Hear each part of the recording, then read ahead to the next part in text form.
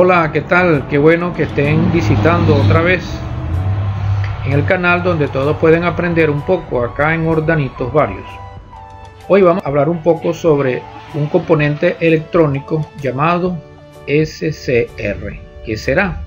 Quédense conmigo. Para hablar del SCR significa rectificador controlado de silicio. El SCR es de la familia de los tiristores podemos hablar de CCR sin pensar en un tiristor.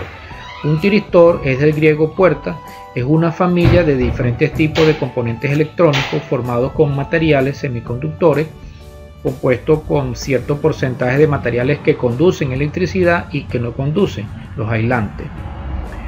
Hay que polarizarlos, hablando de los SCR, y trabajan en un solo sentido de corriente, sea alterna o directa. Se usan para bajo o altos voltajes como también altos y bajos amperajes. Todo depende del tipo y del tamaño. Un componente familia de los tiristores son los triacs, que son tiristores que conducen en ambos sentidos. Hablaremos de ellos en otro tutorial futuro, suscríbanse para que no se lo pierdan. Para los SCR, ellos constan de un ánodo y un cátodo. El ánodo es el positivo y el cátodo es el negativo. Además tienen una compuerta que es por donde se activan, llamada E o gate, que significa compuerta. Bueno, ellos son de uniones del tipo PNPN entre ellos mismos. Bueno, esto si quieren lo paran y terminan de ver lo que está acá. Entre los SCR vemos este tipo de construcción de ellos. Algunos son chiquiticos como este, otros traen para ponerle un disipador de calor y son de diferentes tamaños. Todos traen tres patas o tres pines. Estos, por ejemplo, son para controlar amperaje y voltaje. La identificación de cada pin de ellos varía, por eso tenemos que buscar el data chip o la hoja de datos para determinar y ver según el fabricante en donde colocó el ánodo, el cátodo y el gate, como también la cantidad de voltaje que trabaja, la cantidad de amperaje y todo eso.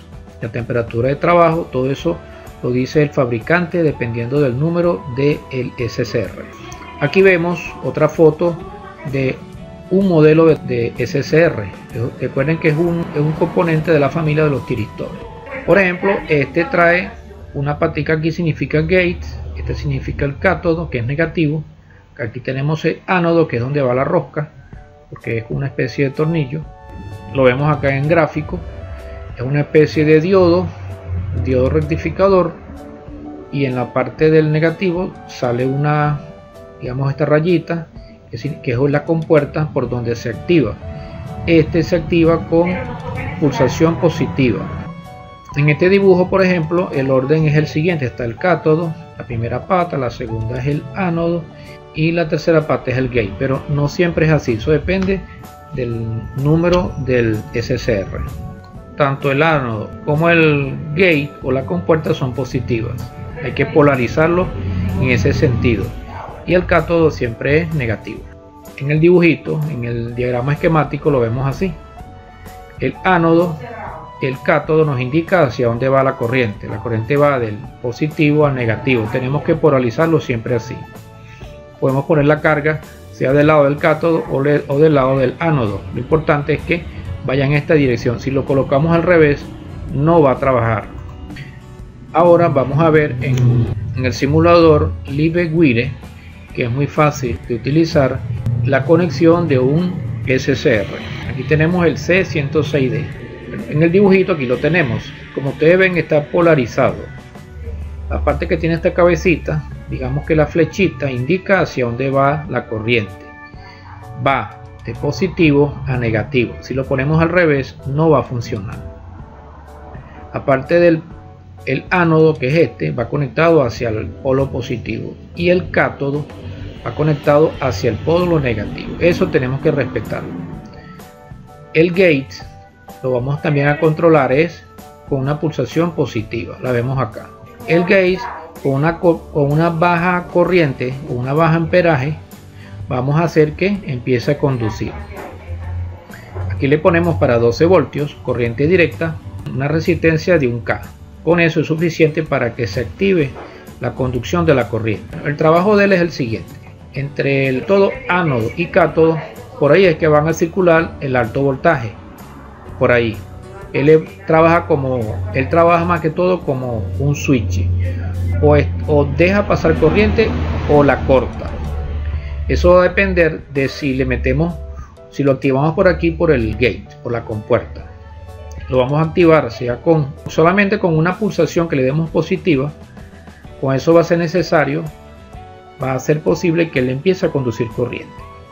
Va a, ser, va a conducir corriente, no importa que después que se active le cortemos acá la corriente positiva. Esa es la característica que trae este señorito, que una vez que empieza a circular corriente, solamente se puede apagar o interrumpir a menos que le cortemos la corriente entre ellos, sea de este lado o este lado. Pero mientras haya la corriente esté circulando, él no se para. Aunque la corriente que le metimos por aquí, por el gate, se corte. Vamos a hacer un ejemplo. Activamos el simulador, pasamos el switch, note que el positivo va por aquí, llega solamente hasta aquí, no pasa para acá. Va a pasar para acá, para la lámpara que ya tiene el negativo listo. Va a pasar para acá solo cuando yo le meta por el gate una pulsación positiva. Pero claro hay que bajarle el, bajarle porque si no se puede quemar. Eso lo dice el libro de datos. Cuánta corriente es que se puede meter pero para 12 voltios con te pueden poner siempre con un K tiene.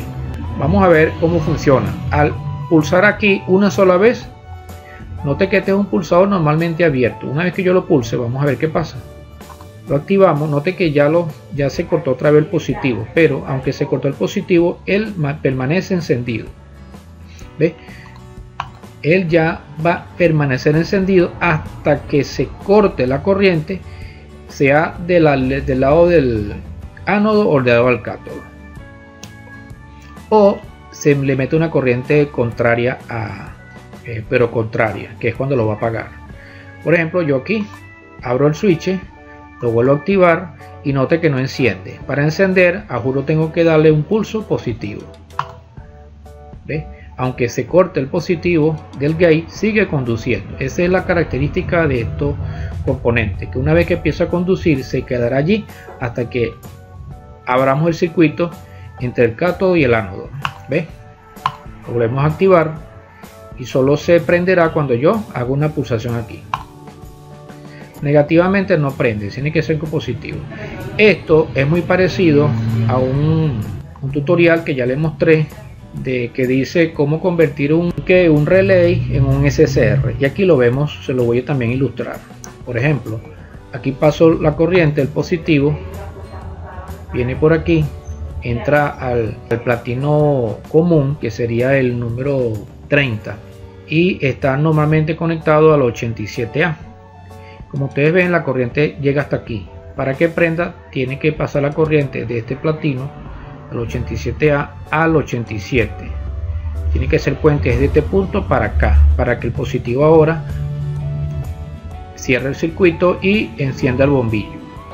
Para que este platino pase de aquí para acá, eso se hace cuando conectamos la bobina, que es de 12 voltios en este, en este ejemplo.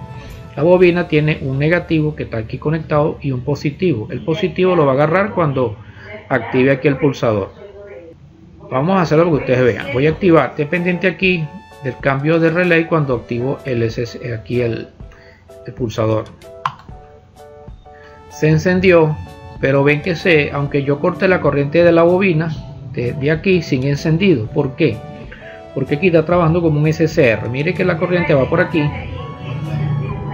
pasa por aquí, el positivo le llega a la lámpara y el negativo por aquí ya enciende. Pero ¿por qué se queda encendida? Porque se está, la bobina se está retroalimentando es por aquí.